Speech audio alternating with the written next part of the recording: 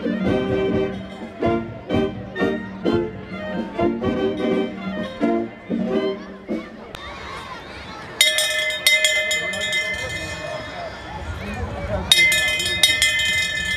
wil ik enkele mensen welkom heten die hier vanavond speciaal voor jullie naartoe zijn gekomen. In het bijzonder onze minister Jo van Deurzen, onze deputé Erik Gerrits, onze burgemeester Wim Dries, mijn collega's van het Schepencollege en collega-raadsleden. Maar natuurlijk zeker zo bijzonder en zeker zo speciaal de Genkse verenigingen, de Genkse scholen, iedereen die vanavond moeite heeft gedaan om hier vanavond zo prachtig te staan. Jullie zagen er fantastisch uit. En die blije kindergezichtjes en zo mooi versierd, dat is natuurlijk wat deze mooie traditie een extra toets geeft. Na deze prachtige stoet wil ik hier graag de harmonie van voor uitnodigen om samen met het koortje met ons Limburgs volkslied te brengen. En daarna kunnen we dan samen naar de vuurshow kijken van Pakka. Ik wens jullie een prachtige avond.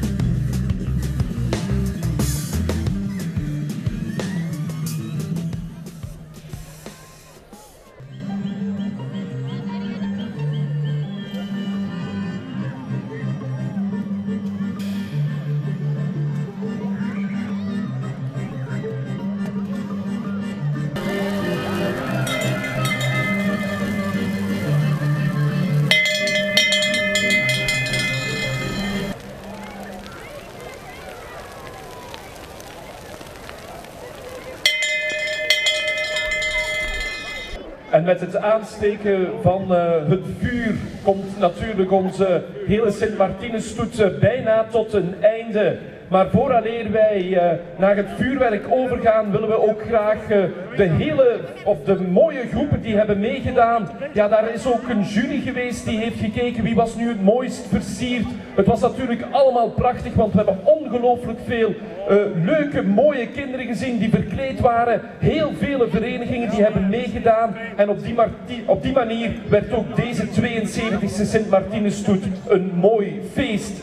Een dikke merci gaat uit naar het G-team, ook de mensen van de soepbedeling, de wagenbouwers, de juryleden, de kinderen die hebben meegedaan, de verenigingen die hier zoveel moeite in hebben gestoken, de technische diensten van de stad en iedereen die vandaag een extra handje heeft toegestoken. Ik wil jullie heel graag extra bedanken en zie jullie hopelijk weer op een volgend event. Ik wens jullie nog een fijne avond.